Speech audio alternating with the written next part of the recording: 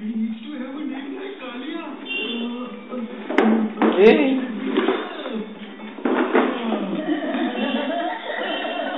and if you guys want to become a part of my story, then you should.